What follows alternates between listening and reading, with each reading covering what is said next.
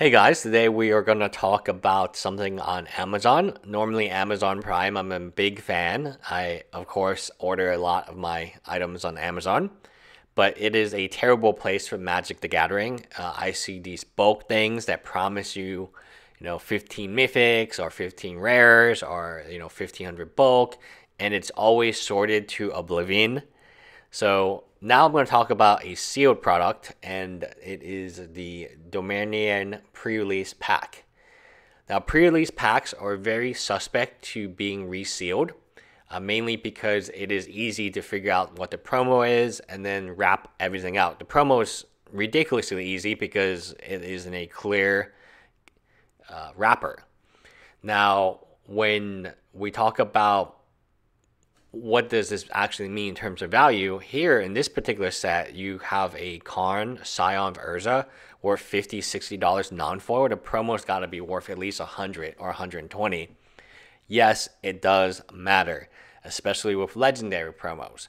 This product is not a bad product, but I would advise you to buy from your local game store, especially one that would want its reputation uh, to be stellar among the community but I would not recommend for you to buy a pre-release kit online just because of the danger. Uh, even when you buy from Amazon Prime, it sells from certain people who ship it, but it's not even the same person. It's so if you bought one and it came really good and then you were happy and you decide to buy another one, the shipping could be done by someone else because supposedly this product is fungible, which means that it shouldn't matter who's selling it, it's a sealed new product. So here we have resealed pack. I think they opened to fish for promos, sealed up the ones with lackluster promos. It didn't have a spin down counter and shoddy shrink wrap job. Job. So it is very easy to reseal this type of merchandise because it's not it's really meant for a pre-release and it's not meant for people to buy later on.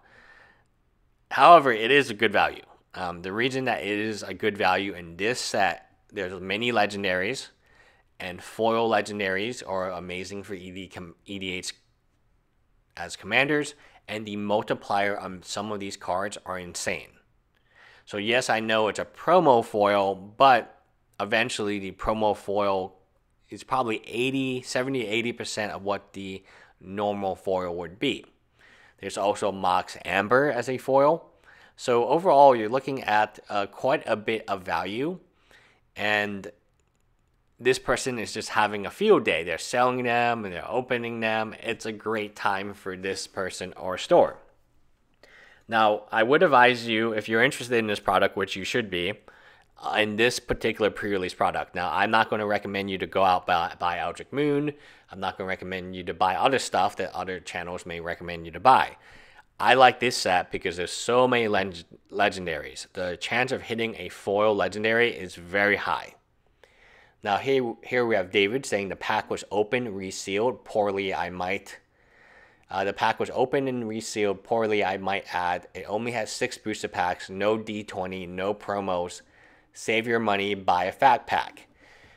So one of the questions you might have is who's actually buying this stuff from Amazon? And it's super casual players. It's casual players who have never been to their local game store. There is, according to Wizard of Coast, 99% of the marketplace has never gone to a GP, and they just play at home. So they, they buy Walmart, they buy Amazon. So that those are the main distribution points that make Wizard of Coast money is actually not your local game store and we are seeing a trend away from specialty products, although we did have the now spiked, now price inflated uh, spell books, right? Jace's spell book, which is $19.99 MSRP, has now become 50 or $60.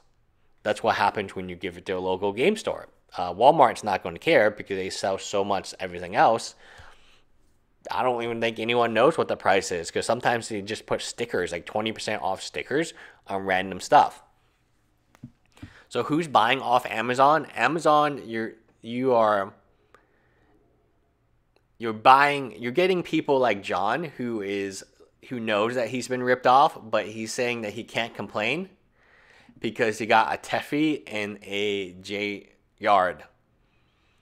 That's the type of people who are buying this product that they're like, oh, well, they stole my promo, but it's okay because I pulled good. Uh, one star resealed package didn't include promo card, disappointing.